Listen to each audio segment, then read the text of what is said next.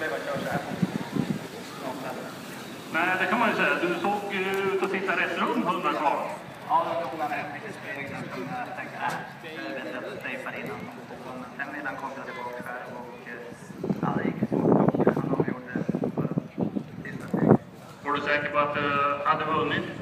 Nej, det var jag inte. Jag tyckte faktiskt Erik vann. Jag satt och fattade så mycket. Men jag sa till Erik att om jag vinner idag får du gärna vinna på lördag. Okej, vinner du någon fler idag?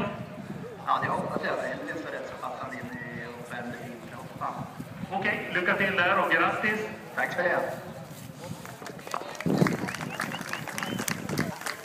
Det ta en intervju. Det var en av delägarna, Mats Norberg, Westholm TV. Vad säger du? Hon var på Lindesberg första gången och får vara.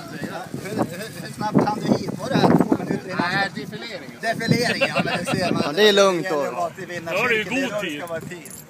Ja, nu ska vi gå och ta en bild. Ta en bild, ja. Så vi får ta en bild på hela gänget.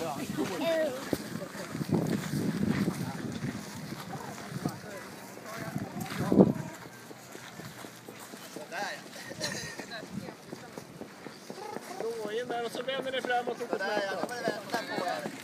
Men börja gå närmare, gå bakom pappa Marcus till. Titta. Va? En långe fule.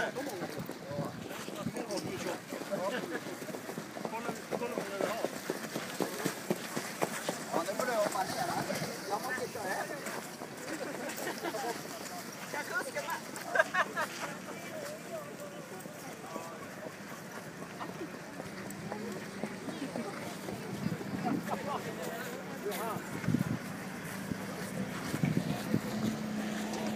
Apollon C är uppfödd i Frankrike.